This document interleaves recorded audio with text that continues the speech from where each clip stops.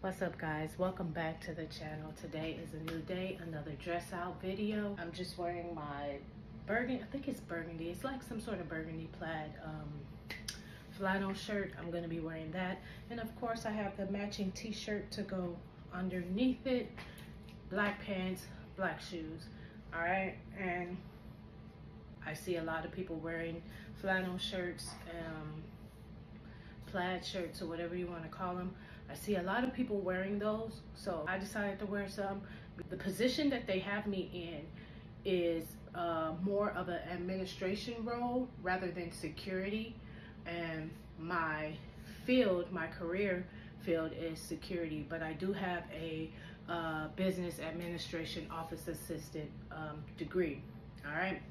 So we're gonna get into this video, let you guys see what I'm wearing. My shirt is over here gonna step back so you guys can see. I do have my AirPods in my pocket, so that's why it's kind of like poking out. Um, but here it is, guys, the black pants. You can't see my shoes, but I'm rocking the Enigma Express light bearing holster. Uh, I have my EDC belt on, and this is pretty much what it looks like. I don't know if you guys can see it, but again, I like my gun to ride high because I don't like when it drops down in my pants. This little part right here, um, I don't want my pants to get caught on it because it feels weird and it don't allow me to get a good purchase on the gun. I am a right, I am right-handed. Um, the reason I like it to ride high because my grip on the gun is better. So if it's down low, then my hand is kind of like trying to fiddle and get to it which could be dangerous in a self-defense situation because you can't draw your gun. So that's why I have mines riding high and we're gonna put on my shirt so we can see what it looks like. And even without my shirt, guys, you can barely see it. Like you can't even see the print. You can see a little bit right here, but that's because my shirt is uh, pretty much fitted. Um, yeah, I like wearing these shirts because it's cold inside of my building, so I tend to double up or triple up. I have on this shirt and I have on another one under that, this little tight uh, t-shirt right here. So,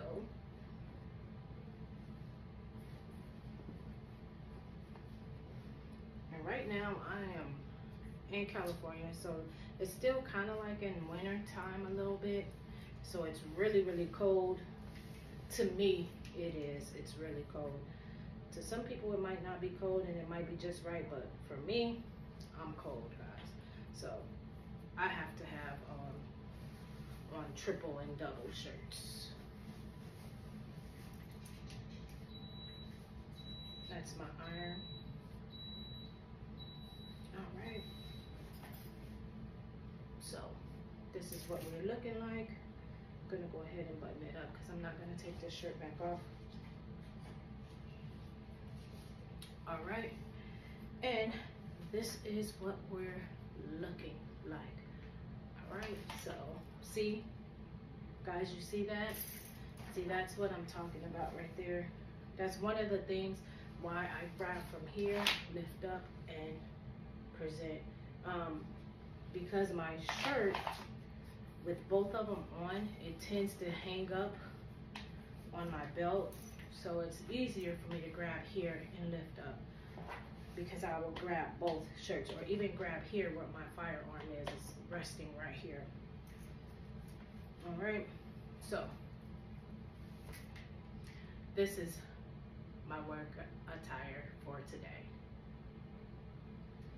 Uh, it is 6 47. I got a little bit of time.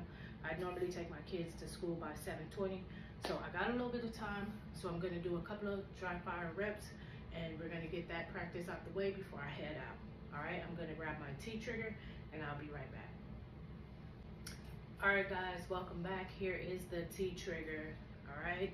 Again, guys, this trigger, it's a good training tool. However, it is not compatible with the uh, Mantis laser system and I want that compatibility so um, it to work together like this trigger is designed to so you don't have to keep racking your slide when you uh, take shots because in a real life situation, a self-defense uh, situation, you're not gonna be racking your slide to take your next shot. So this is a good product, however, it's um, not worth what I paid for it. I paid $90 for this um, T-Trigger. Um, it is a good product, again, but it's not worth the $90, especially with it not being compatible with a laser system. So that's what I wanted. I wanted that compatibility, and this just simply doesn't have it. However, it does um, do its job. T-Trigger, the infamous Glock 23. My gun don't have too much of anything on it. And let me show you guys that it is clear, no round in the chamber, no mag in the firearm. So it is clear, all right? This is the T-trigger. We're gonna insert it. And you heard that click, all right? And we're gonna holster it. So that's one thing I do like about this system, the T-Trigger, is because I am able to use my own firearm, especially with the Laser Academy, I'm able to use my own firearm and just put the laser insert inside of my barrel. That's one of the things I really, really like is because I'm training with my own firearm. Now I do have a replica of my Glock 17 Gen 5.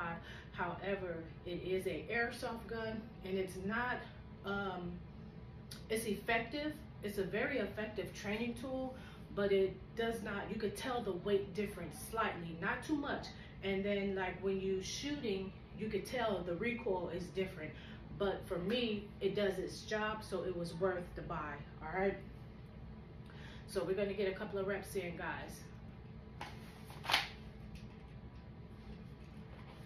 And I'm doing this because I wanna get uh, faster with my draw. So that's why I practice drawing from the holster. I also have a, um, there's a training on my Mantis that uh, do the drawing from the holster and you're taking uh, a couple of shots. I think it's one shot. You can do one, two, or I believe three, but I'm not for sure, guys. But yeah. Now I'm gonna enter in a couple of um, trigger pulls. The first one is going to be my actual firearm and every uh, trigger pull after that is going to be the T-trigger.